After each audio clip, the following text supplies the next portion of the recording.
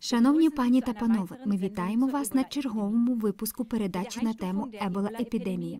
Через введення міжнародного надзвичайного стану у зв'язку з епідемією лихоманки Ебола епідеміологами ВООЗ були запроваджені різні заходи.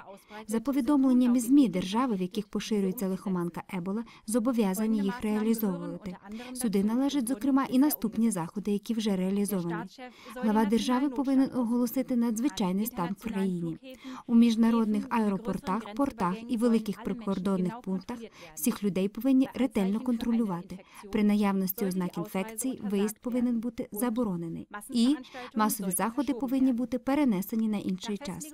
Після визначення цих заходів генеральний директор ВООЗ Маргарет Чан оголосила, що вона повністю прийняла рекомендації надзвичайної комісії, і цим самим ці за міжнародним правом обов'язкові рекомендації набрали чинності. Шановні пані та панове, ким же є ВООЗ, що бере на себе право запроваджувати обов'язкові міжнародно-правові норми? Всесвітня організація охорони здоров'я, коротко ВООЗ, це міжнародна організація, яка не обирається народом. Однак її рекомендації стоять вище рекомендацій обраних народом урядів, а також вище органів охорони здоров'я окремих держав, не тільки при ебола, але й в інших сферах охорони здоров'я, наприклад, щеплень.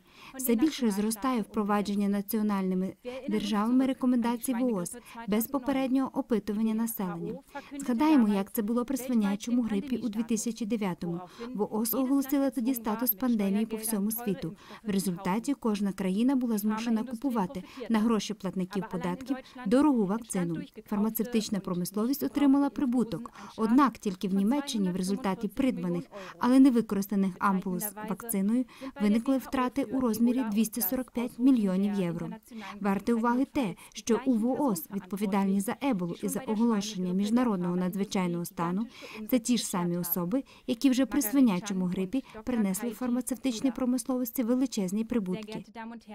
Шановні пані та панове, потрібно і надалі на міжнародному рівні досліджувати вимоги та заходи, які пропонуються ВООЗ, і пізніше оцінити їх та проаналізувати. Епідемії можна перш за все попередити і згасити через чисту воду, гігієну, хороше харчування і через зрілих думаючих громадян, які турбуються про своє здоров'я. Як доповнення до нашого актуального репортажу, ми пропонуємо вам на закінчення подивитися короткий фільм від Ганса Тользена Ебола генетичне польове випробування Пентагону. Ви також можете знайти його за даним посиланням. До побачення.